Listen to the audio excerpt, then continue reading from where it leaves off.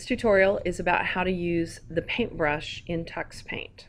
So first step is you click on paint and then you have all of these colors that you may pick from including this one. If you click this button you get to choose what color you're going to paint with and then that color will remain down here until you change it again.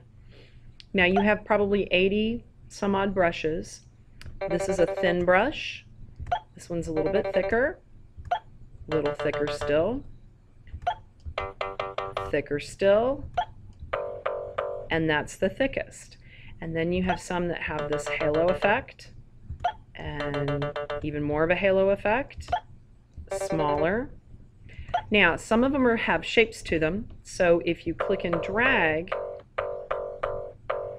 you get the shape repeatedly. If you use it once, you can use it like a stamp.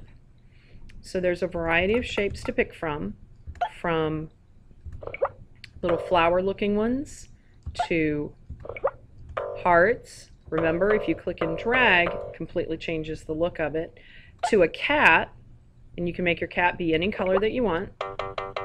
And if you click and drag, you get a series of running cats. If you click once, you'll get one of each kind of cat. Which kind you get depends.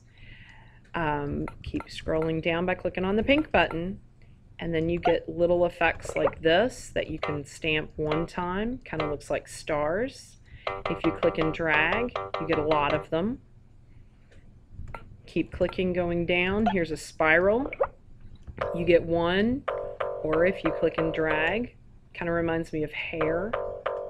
You could use that to draw hair on, on a face Keep clicking down. You see you got square shapes. We even have a squirrel. And your squirrel can be any color.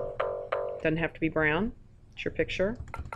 All the way down to this lovely ivy that looks really good if you stamp it once. Looks like that. If you just click and draw with it, it looks like that. Now you can use these effects in a lot of different ways. You could use this ivy brush and you could color in an entire background just by using that. You could change the color of the ivy and you could overlap. Notice that you don't have to erase because you can just color over something. So if you change your mind, if you don't like that color or if you colored too far, all you have to do is change it. And it's that easy. And now you've got this really interesting looking background. You can combine them too with, let's say, the big paintbrush in blue, and you could click and drag across the top part of your drawing to create a sky.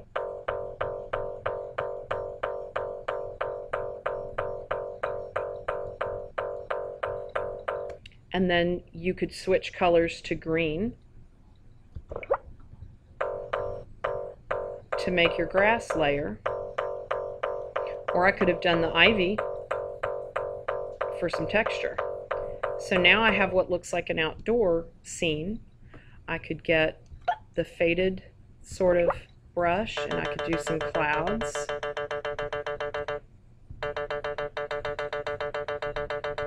Like that. It doesn't have to be too neat. So just remember that you can do all sorts of different things with all of these different brushes and I haven't even begun to show you the other tools but I'll teach you those in, a, in the next part.